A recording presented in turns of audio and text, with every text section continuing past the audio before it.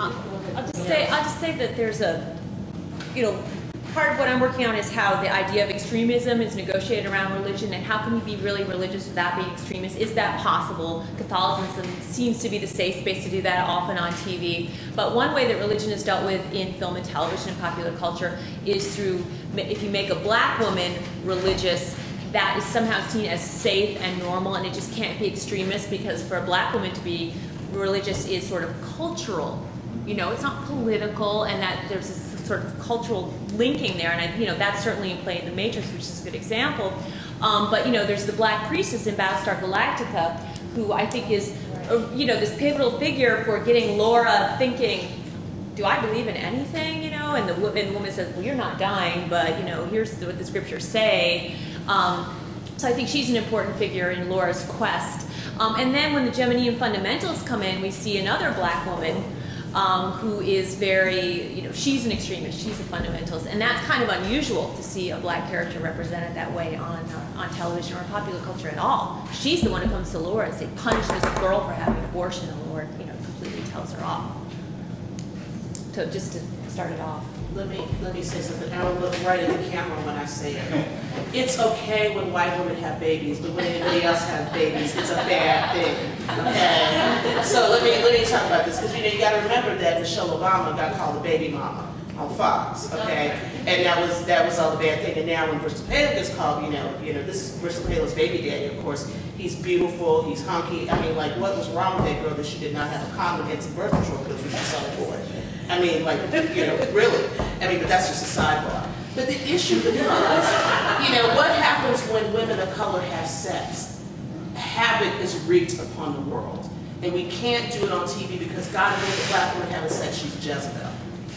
And so we need to desexualize her and make her a church woman. Mm-hmm. Okay? So you're never gonna see if, if Saving Grace was like, you know, Vivica Fox, you know, instead of her, you know, that show would never last the whole season okay? But because it's, you know, who it is, it's okay. So whenever you have women of color having sexuality or complexity or religion and everything else, it's a violation, okay? But it's okay if somebody white can have that because we can ascribe other things to them that will make them be okay. And see, this is the whole thing that's happening with the Bristol Palin narrative, is that she's being ascribed with, oh, look, it's just all wonderful. Forget about the talk that, you know, any place else that would have been sin okay, and Christian narrative. How do you change this narrative from it being sin and hiding that girl out to put her on the front thing of the Republican National Convention with her baby daddy? And they ain't married yet. I mean, I, I just call crap on these people. I'm sorry, I had to get that on, on crate. But, I mean, this is what we're faced with in these TV narratives, too. So that, you know, other people don't get to act out. You know, but it's okay when you, the whiteness ascribes you to be able to act out. I, I would just add add to that to say that um, in the sense in, in, the in the kind of the sense of the cultural economy and how these things become certain kinds of commodities or, or, or the representations are commodified that you know race is, is a perfect example of of um, how it is that religion can be a framework for certain kinds of transgressions but not others.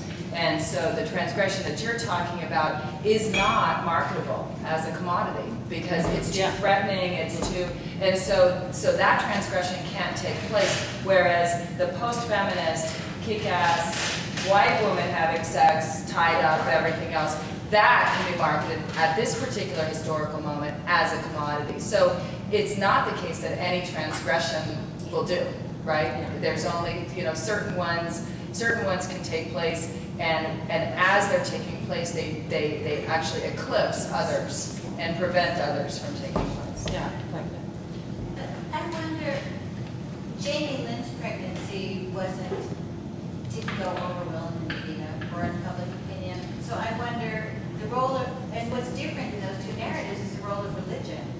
I mean, Palin was doing it in a Christian context, and Jamie Lynn was doing it in a Hollywood context. And Jamie Lynn also had a sister group. Right, she had a story that she did. Yeah, so this is just like, look at this family's crack, you know. But that that's the fruit of, you know. I mean, I mean, the, staying on Jane's thing about race, I mean, I, I think the commodity and market are not just metaphors. I mean, these are sort of real, tangible things. Um, a, a TV show is a commodity, it has to be financed, it has to be marketed. And whatever the transgressive intents of the makers, however much they want to revel in ambiguity, there are certain constraints. So, for instance, um, Rob Tapert, who produced Xena, before he did Xena, he wanted to do a television series which had a black female actor as a superhero. The studios wouldn't finance it. I mean, well, it literally was not marketable. And um, one of the actors who played in uh, Xena, black uh, female actor, also played in, in, in, one of the, the other shows produced by the same people, and in Joss Whedon's um, Firefly.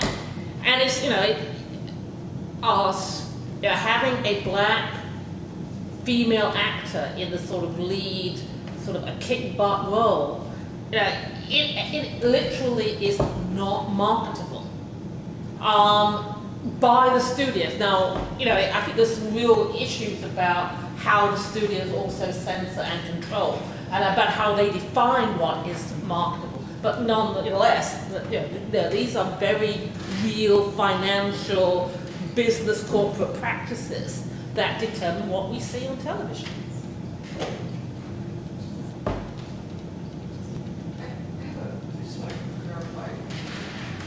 said that, or correct me if I'm wrong, that you don't think that um,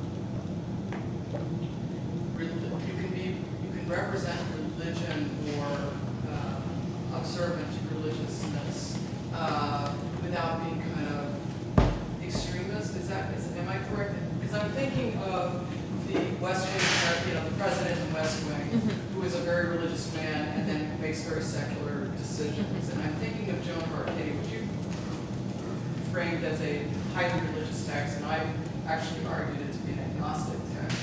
So it seems like there has been this kind of history of, um, you know, like a, like a, an attempted balance away from fundamentalist but observant religious characters. And I just want to see if that is what well, you're suggesting. I, haven't seen enough of Joan of Arcadia that I think I could fully rebut, you know, an argument about being agnostic. What I have seen, I felt, and part of it was knowing that the creator was was deeply Catholic, very observant, and that she had met with our group, uh, I guess, two years ago and shown us an episode, talked about it, and said, you know, here's how I dealt, sort of uh, thought through different uh, issues of Catholicism on my program. So I think that prejudiced me to see it that way, but I don't, you know, obviously the show itself has to be read apart from the producer, and that's important. Um, and I'm, I have not watched West Wing much at all. I think the, the broad picture of what I've seen on television, though, is, a, is an anxiety about showing uh, liberal religion. That liberals tend to be the secular thinkers on the show, and that if you are, you can be a little religious, but if you are deeply religious, that more often is linked with a kind of extremism conservatism. And where you know issues of gender and reproductive rights and sexuality come up, there's, there's always this kind of stark, because I believe in God, you cannot get an abortion. Because I don't believe in God, I can get an abortion. And, and that's just how the narrative seems to be repeatedly framed. Um, except, and this, this was, uh, this is in the bigger work, and I didn't get to talk about it, the bigger picture of abortion on television, reproductive rights, reproductive rights on television is that religion is not an issue at all for thinking through um, abortion on TV until the 80s and until it becomes religious sized. I don't, I don't have the right word there, um, by the Christian right and by Jerry Falwell and so on. So that around Maude, you know, all the letters that they received, they're just, they're just like, this is in poor taste. You know, I'm a Catholic and I have strong feelings about this, but I just don't like you talking about this on a sitcom. And you know, the words pro-choice and pro-life don't really exist in the vocabulary then. And another case study I talk about in the longer version of the essay is Sesame Street, where there were ridiculous rumors floating around that the show was going to address the issue of abortion. And, um, and what happened was that someone gave a speech about how uh, at, a, at a big conference about how the show was going to try to picture small families instead of larger families to promote a sort of idea about population control um, to, to child viewers.